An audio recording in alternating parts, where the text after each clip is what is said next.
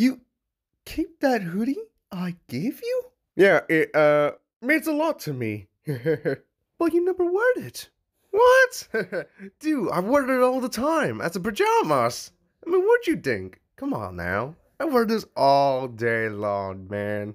It's fun. my, my. It's my first time seeing him. Yeah, true, honey. True.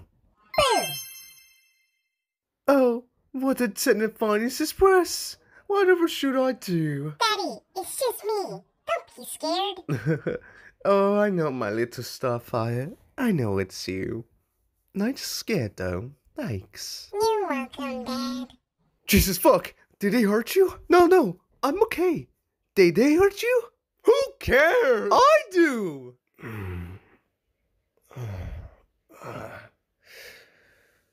Ah, shit. Fuck.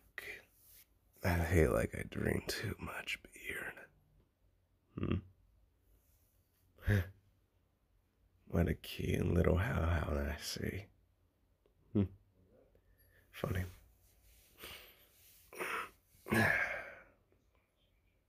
Oh shit, I didn't remember. Fuck.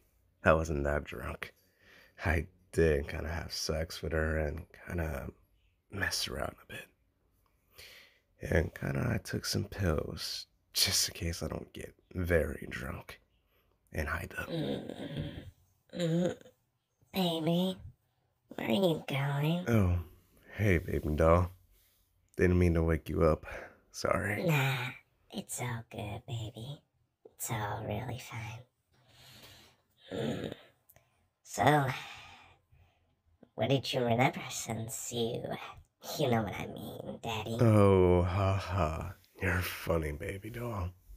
Well, I did remember when I, well, since we first met in chat and we went to your house and kind of had some little fun in chat and listened to some music up.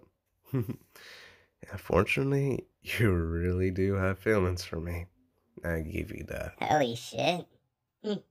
I guess you're not that bad as well. You got that correct. Mm, sweet. Very sweet. so, you want me to make dinner for you? Sure, Romeo. I would love that. All right, baby. I'll get to cooking.